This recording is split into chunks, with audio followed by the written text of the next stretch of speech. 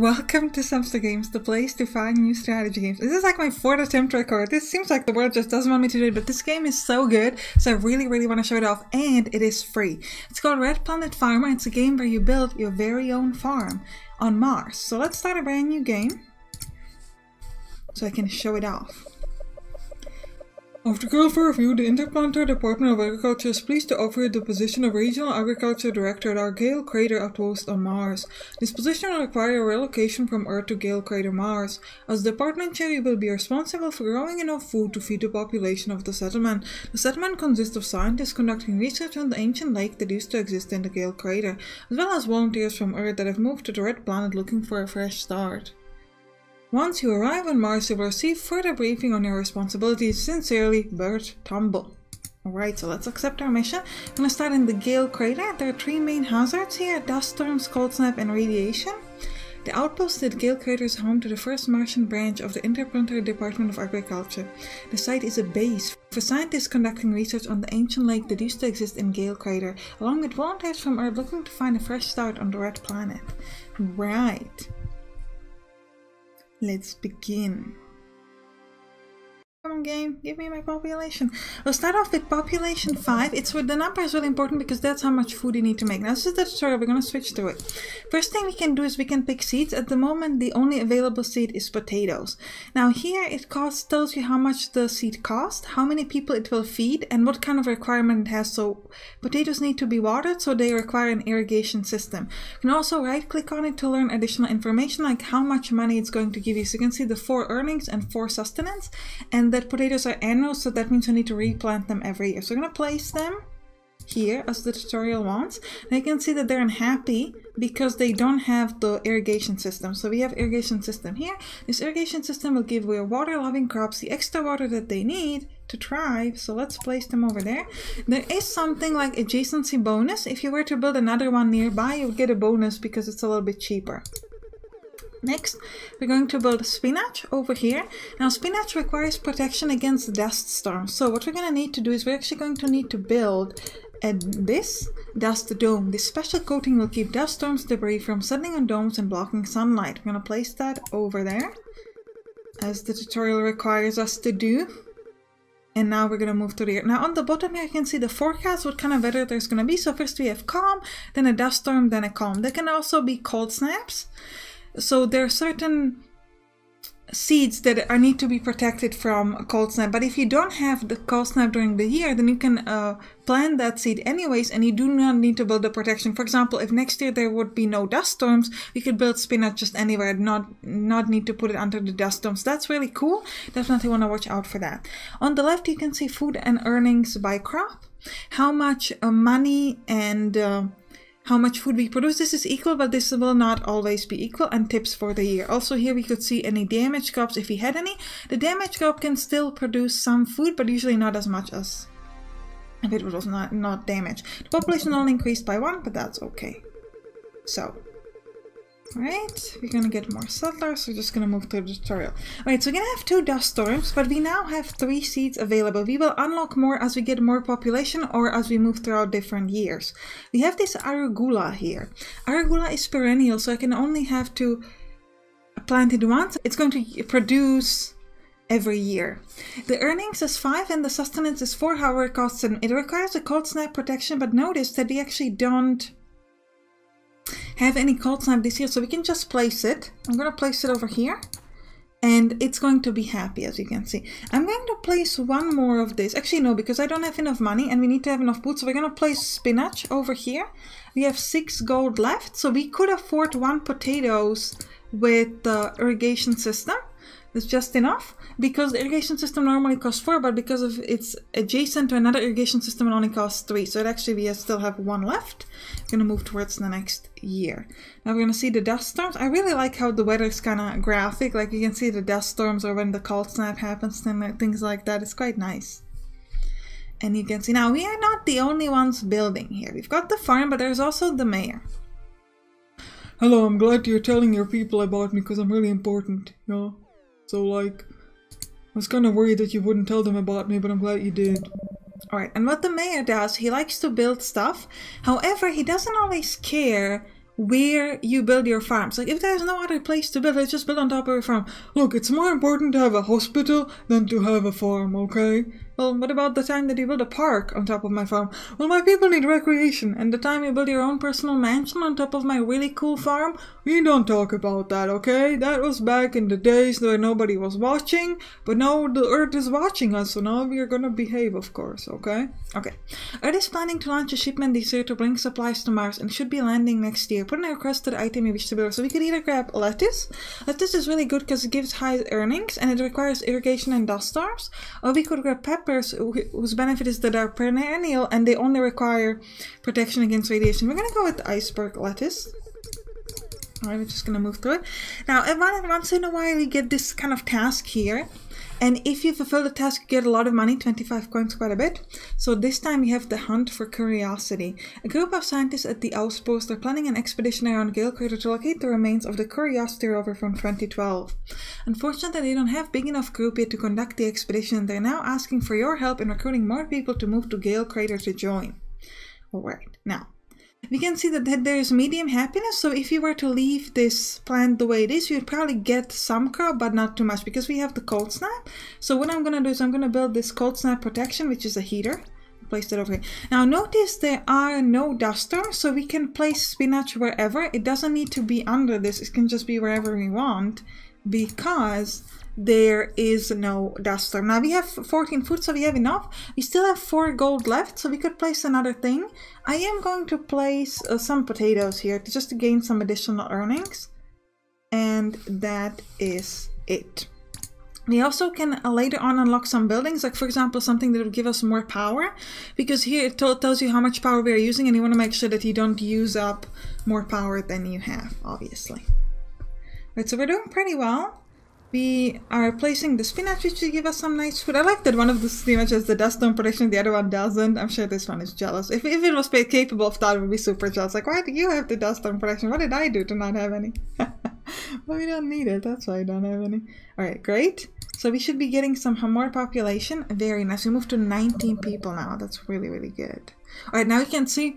Alright, so in the interest of being transparent, I'm gonna tell you right now that I'm gonna build down here on this little hex, okay? What are you building? Well, you have to wait and be surprised just like everybody else. Why would I tell you in advance? Okay, calm down. And also read the Martian Times, group of five settlers land increasing the population. Another passenger spacecraft from Earth has arrived bringing multiple new settlers along with it. The arrival comes after a year of high food products and surplus, indicating that the colony is ready to support greater amounts of researchers and volunteers. Settlers celebrate anniversary of first manned Mars landing. Citizens at the Gale Crater outpost have gathered together to celebrate the anniversary of the first humans landing on Mars. The celebration occurs once per Mars years or every 668 Martian sols and includes a banquet of local locally grown Martian food. So essentially of spinach and arugula, because that's the only thing they had. Now this time we have both cold snap and dust storm protection, so it's not ideal. But we do have some gold. First thing I'm gonna, is gonna place uh, another arugula here. And on top of that I'm gonna place a heater. I've got 11 gold left and we need 11 more feet. 11 more food. So we could either place one spinach, which would give us 5 food, we would still need 6, and we would have 8 gold for that. So then we would be able to either go with the double potatoes or probably another spinach with another dust storm protection. We could try to go for lettuce, but for that we would need to build another irrigation system and I don't think we have the money for it. So let's place a spinach thing there. And another one... How much is the dust storm? Yeah, so it costs 4, but we're to have the discount here for 3. And then we're going to place the spinach there. So we're fine. We get 18 Ooh, but we need 20. So what we're gonna do, we're gonna place a potato. The potato is gonna be unhappy because it does not have a water, but it still might grow something. We'll see. It probably won't, but it might. And in case it does, it's gonna be fine. Otherwise, 18 food for 19 people is still fine. It's not too bad. What do you mean it's not too bad? You promised me that you'll have food for everybody. Well, I did, but I just don't. What do you want me to say? Well, I want you to work better next time. I have enough. Oh, I'm sorry I said anything. I apologize for that. I didn't mean to. I didn't mean anything by it. You're fantastic. Thank you, Mayor. Ooh, so you build a hospitalized. Seriously, gonna build it again? Just stop building. Well, people are happy here and they want more stuff. Okay, you can't just stop building just because you need the space for food. Then you're gonna be starving and die. Well, that's not my problem. That's your problem. Alright, so we could get peppers or garlic. Garlic is cool because you can place it anywhere. It doesn't have any requirements. But you need to have the space for it. And the space actually becomes quite difficult once the mayor starts building all over the place. Alright, there's no need to throw shade, okay? I want people on Mars to be happy. That's my job. So just like stop complaining, please. Alright, so on the right bottom here we can see radiation and some crops need protection from radiation. We also got a new upgrade for radiation shield. So what I'm gonna do is I'm gonna, we have dust storm. Oh, so actually Arugula is out of uh, stock, so we cannot build any more of those. Now lettuce gives me six sustenance as opposed to this which gives me three. Let's place two spinach here. We're going to unlock this for three and this for four. We've got 11 gold left. I think I'll place the lettuce, but lettuce is also, I know it's going to give me a lot of money. Cost me five, and then I would need to build the irrigation. No, I would need to build everything, right? Because, okay. So then let's just place potatoes here. Seems like the best two of those and we'll give one of them the irrigation system protection. We'll leave the other one well actually we could we could do everything. We'll do everything. It's fine. Because this is going to allow us to jump to 25 people most likely which is going to give us the 25 coins from fulfilling the research that's actually quite important. Are you really not going to tell me what you're building here mayor no i'm not. You have to wait like everybody else Besides, I want it to be a surprise for you. I'm really sure you're gonna like this one. It's not like the hospital, that was necessary for the people, but this one, I'm sure you'll use this one yourself. Hey, now I'm curious what you're gonna be building, man. Ooh. We finished the hunt for curiosity. Breakthrough. Thanks to your help growing the population, some scientists and explorers were able to locate the remains of the Curiosity rover on Aeolis Palus, just southwest of the Gale Crater outpost. Alright. So we got the 25 coins. Ooh, recreational center. You were right, May. I totally want to use that. See, we could play some game together like soccer. Yeah, we'll do it. Ask Anita. Dear Anita, I've just arrived here on Mars after a long trip from Earth. Before I left, my significant other and I had an agreement that he would arrange to come on the next ship of settlers so that we could live together here on Mars. But now he's not responding to any of my messages. What should I do? Sincerely confused. Hi, confused. I'm sorry that this is happening to you. It must be hard wondering if he isn't responding because of poor connection and 13 minute delay in sending signals back to Earth probably isn't helping. Unfortunately, the most likely cause is that he's changed his mind and doesn't want to come to Mars. Perhaps you should try looking for a new Martian significant other, like my brother. He's always looking for women. Frankly, this brother is really bad at finding women on his own. oh, never mind. Alright, we've got a cold snap, but we do not have things, so we could place lettuce here. Lettuce, yeah, and we've got a lot of money, so let's place two lettuce here. We definitely need to unlock some new areas in case the mayor decides, you know what, I want to build some more. Now, we still need six more food. Now, uh, this is perennial, but we have high High radiation. I could build it here and give it a radiation protection because I've got the money for it. So let's do it because it's going to be perennial and I like having some stuff perennial. The rest will do. Oh, we have a new research here. We need to have five potatoes and three corns getting enough carbs. Some researchers at the outpost are looking to conduct a study on carbohydrates levels found in the genetically modified species of crops grown right here at Gale Crater. They've requested a few batches of cro crops from the Agriculture Department for testing. Specifically, they're looking for crops that are generally higher in carbohydrates like potatoes and maize. Alright, so let's place... What else? What else? What else? We could place potatoes? Um, if I place it here, the problem is that everything will be filled up and then the mayor might choose to build there. So we want to give him like an empty space to be like, hey, if you want to build stuff, build there. If I place potatoes here, I'm going to have to give them the water protection, but I guess I'll do it. The irrigation system, go on. Do we have a new building? No, we just have the solar panel, so that's fine. Uh, we could uh, let's let's do two potatoes and we'll give the irrigation system there so that in the future we could place here the lettuce because the lettuce gives you really really high earning. So it's actually quite beneficial if you can place that because it gives you eight earnings as opposed to everything else which gives you like five max. So that would help us with getting money in the future. We've got the cold snap but every one of our crop is super happy. We should be alright. 31 food, nice. Now, eventually we're gonna unlock water tower, as you can see over here. Water tower is really cool because it makes sure that all the six surrounding plots are filled with water. So that can be actually quite useful. Hi Anita, I originally came to Mars as a geologist to conduct research here on the Red Planet, but I've decided I don't really want to be a geologist anymore. But there are some other interesting jobs I could apply for while I'm here on Mars. I'm not very familiar with the job market, thanks, unemployed. Hi unemployed, there are plenty of opportunities for work here on the Red Planet. The task of solar panel sweeper is in high demand right now, and pays relatively well if you're willing to spend all day on your feet. Solar panels need to be swept every day to keep them clear of any dust that may block incoming sun rays. It's also a great way to get nice toned arms too. Hope it helps. Okay, okay. Alright, so we've got Dust Storm. Oh, and do we have the building? We do have the water tower. Ooh, but where would we build it? The thing is, we have an irrigation system kind of everywhere. We'd have to build it like maybe here. And then these three would be... Or what if we were to build it here? That would make all of these around irrigated, which would be quite nice. I might do that, but first let's build some of the basic stuff. So we definitely want lettuce. We'll place two of those here. We do have dust storm. It's too bad that the arugula is out of stock because that would have been quite useful. We, we have no radiation, so we could place pepper here with the fact that we're going to build the radiation protection next time. Now let's build some more seeds. We're at 34 food, but everything is filled up, so we're to need to unlock some more plots like these.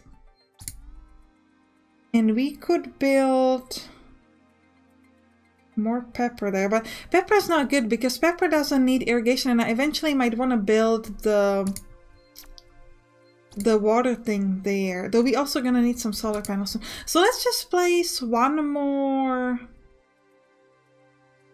Oof. Then again, we could just remove the peppers later. You can just like get rid of them afterwards. Demolish this plot, peppers for 50% refund. So I guess we'll do it because we need a little bit more. For Let's play one set of peppers here. We'll also unlock this. And we'll probably try to on the on the next uh, day we might place the, the irrigation tower or the solar panels. We'll see, we'll see. And also decide if you just remove the peppers to gain some money back or if you're gonna keep it and build the radiation shield protection. We'll decide that later. But we're gaining a lot of good stuff this time around. 37 and 43 earnings. That's really, really nice.